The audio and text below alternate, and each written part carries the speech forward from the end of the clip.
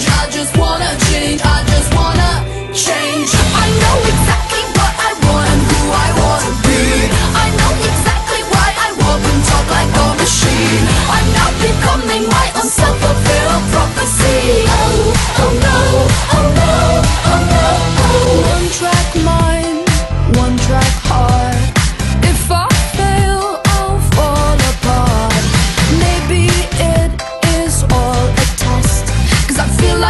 worst, so I always act like I'm the best. If you are not very careful, your possessions will possess you. TV taught me how to feel, now real life has